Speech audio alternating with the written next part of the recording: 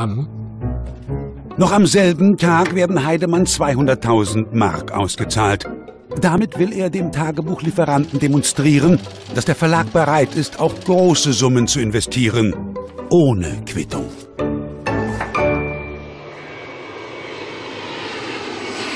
Am nächsten Tag will Heidemann in Ditzingen bei Stuttgart zum ersten Mal die Quelle treffen. Herr Fischer, mehr weiß er nicht. Noch bevor er das Klingelschild entziffern kann, öffnet sich die Tür. Naja, und dann ist er angehopft, stand plötzlich vor der Tür. Naja, und dann habe ich ihn reingelassen. Und dann haben wir bla bla bla bla. Er hat natürlich groß auf den Wickel gehauen. In gelöster Atmosphäre wird übers Geschäftliche geplaudert. Heidemann setzt von Anfang an auf seine besten Argumente. Und dann habe ich das erste Gespräch geführt und habe nun immer gelockt, auch mit der Yacht von Göring und Uniform. Die habe ich ihm ja auch gleich mitgebracht beim ersten Mal und gegeben und hatte gehofft, dadurch kriege ich ein Buch vielleicht billiger oder so.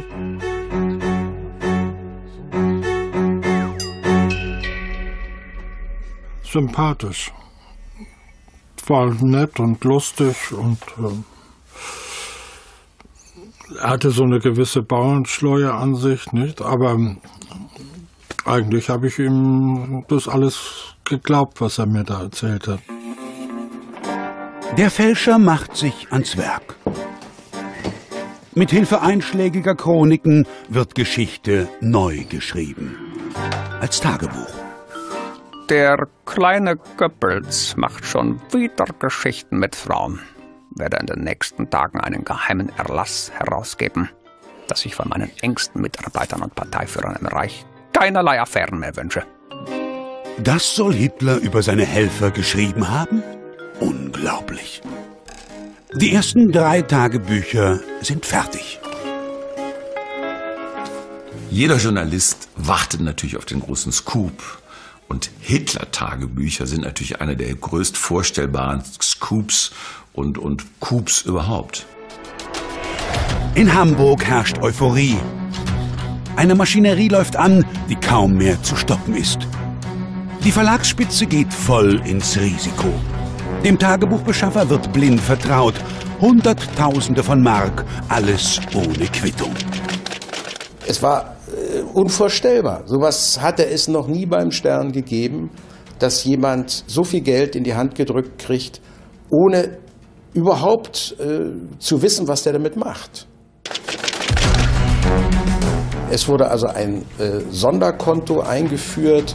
Der damalige stellvertretende Verlagsleiter des Stern führte also eine äh, handschriftliche Buchhaltung und Heidemann bekam dann entsprechende Summen mal 200.000, mal 400.000 Mark bar in die Hand gedrückt und lieferte dann entsprechend Tagebücher ab.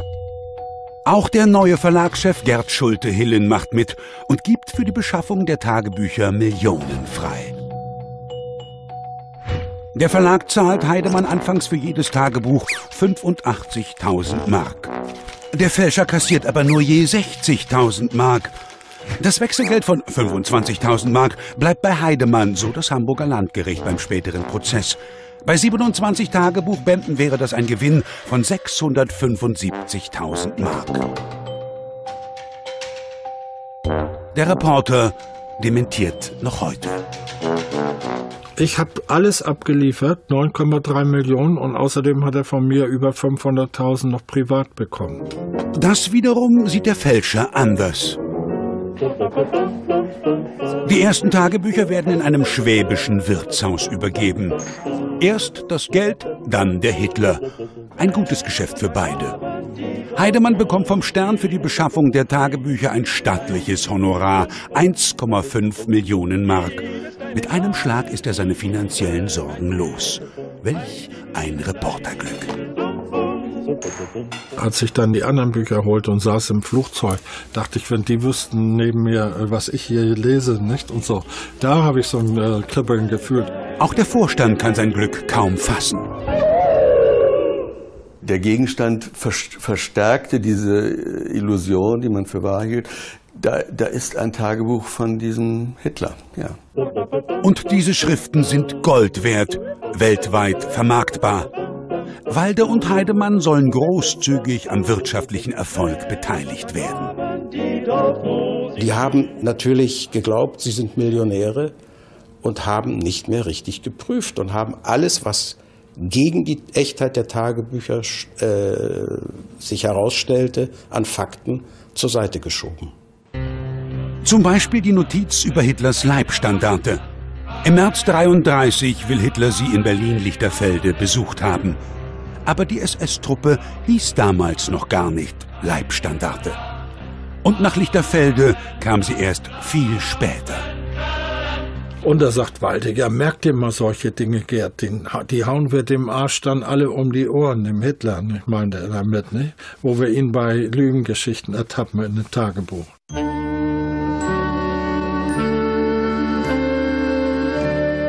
Irgendwann wird der Wunsch zum Vater des Gedankens, also wenn man sowieso schon so besessen ist und natürlich jetzt nicht nur fasziniert ist von dieser ganzen Welt, sondern für sich den ganz, ganz großen Scoop sieht, dann werden kritische Elemente, dann werden alle Dinge, die das Ganze relativieren können, ausgeblendet. Das kennt auch jeder.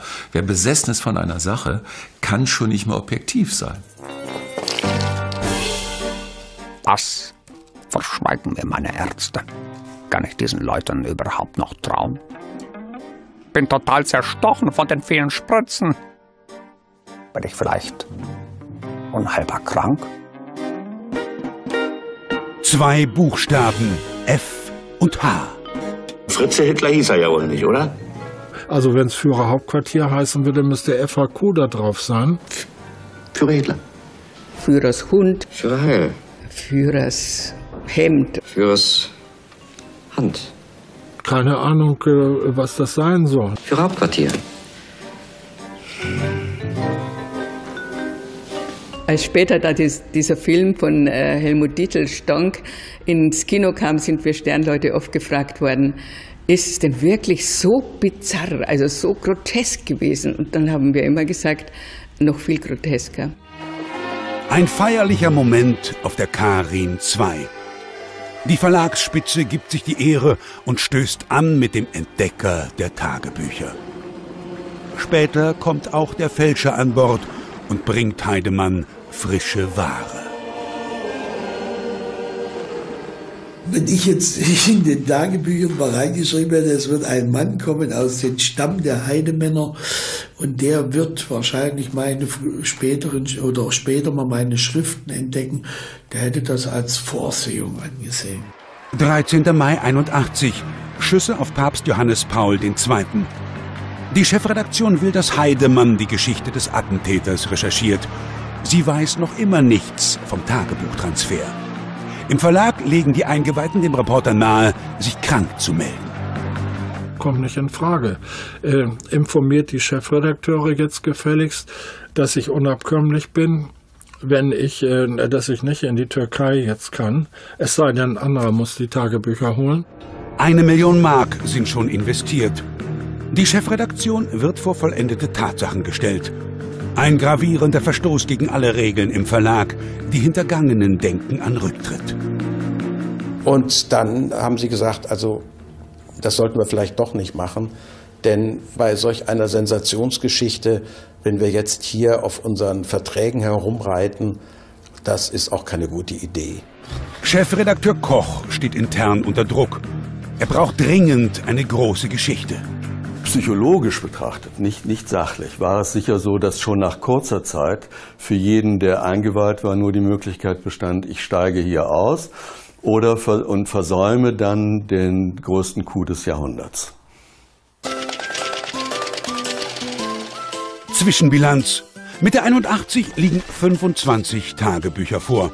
Der Verlag hat dafür 3,02 Millionen Mark investiert. Und wo so viele Millionen schon geflossen sind, da kann man jetzt nicht plötzlich aussteigen. Barfuß oder Lackschuh, alles oder nichts. Leg ich mir nen Frack zu oder komm ich vor Gericht? Barfuß oder Lackschuh, so geht es bei mir zu. Nie die goldene Mitte, immer volles Risiko. Man kann es vergleichen mit ja, einer Art großem Spiel. Der Einsatz wird größer, das Risiko nimmt zu und gleichzeitig aber auch ist, wenn man das Spiel gewinnt, trotz großen Einsatzes, gro trotz großen Risikos, der Gewinn natürlich dann umso größer. Und das ist genau das, was hier passiert ist. Plötzlich taucht sogar ein Sonderband über Rudolf Hess auf. Hitlers Stellvertreter. Der Stern legt dem Bundesarchiv Koblenz mehrere Einzelblätter vor, darunter auch eines aus dem Hess-Band. Was halten Sie von den Dokumenten? Glauben Sie, dass sie echt sind? Und wir haben uns natürlich erkundigt, äh, woher haben Sie die und so weiter. Und haben sie natürlich sofort gesagt, das möchten wir im Augenblick noch nicht sagen. Und so, wie sie sich gaben, musste man den Eindruck haben, dass es sich um bedeutsame Dokumente handelte. Die sollen jetzt verglichen werden mit den seltenen Originalhandschriften von Hitler aus dem Bundesarchiv. Keiner ahnt, was hinter der Blättersammlung des Stern wirklich steckt. Also von Tagebüchern, das soll man aller Deutlichkeit sagen, war nie die Rede. Und wir konnten auch gar nicht auf die Tagebücher kommen, weil das Material, was wir vor uns hatten, war alles andere, aber nicht Teil des Tagebuches. Die streng geheim gehaltenen Kladden werden im Tresor einer Züricher Großbank aufbewahrt. Heidemann hat alles vertraglich geregelt. Nur er und Walde dürfen die Tagebücher auswerten. Exklusiv. Sie sind die Herren des Verfahrens und sie bestimmen auch, was geprüft wird. Schriftgutachter werden beauftragt. Das Landeskriminalamt Rheinland-Pfalz bestätigt, dass es sich mit an Sicherheit grenzender Wahrscheinlichkeit um die Handschrift Hitlers handelt. Und die beherrscht der Fälscher perfekt. Nur die Schrift wird geprüft, nicht das Material, auch vom renommierten Schriftexperten Ordway Hilton aus den USA. Uh, Meine Antwort wäre, dass es Hitlers Originalhandschrift ist. Tatsächlich stammen manche Vergleichsschriften ebenfalls aus der Werkstatt des Fälschers.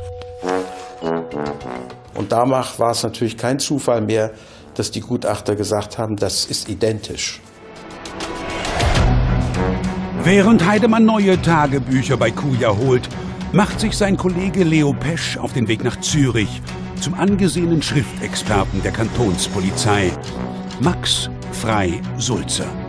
Auch der sagt, alles echt. Es hatte ja nie einen Zweifel gegeben und auch diese Gutachten waren nicht in Auftrag gegeben worden. Das darf man nicht verwechseln, um die Echtheit der, äh, dieser Kladden zu prüfen, sondern sie waren in Auftrag gegeben, um die Ergebnisse den potenziellen Käufern der Rechte vorzulegen. Das war der einzige Zweck dieser Veranstaltung. Ein zusätzlicher Kaufanreiz. Weihnachten 82. Immer mehr Tagebücher treffen beim Stern ein. Doch ausgerechnet an Heiligabend überrascht ein rechtsradikales Blatt mit der Schlagzeile Hitlers Tagebücher entdeckt. Ja, dadurch äh, kriegten die wahrscheinlich oben das Flattern, weil Irving nun plötzlich rauskam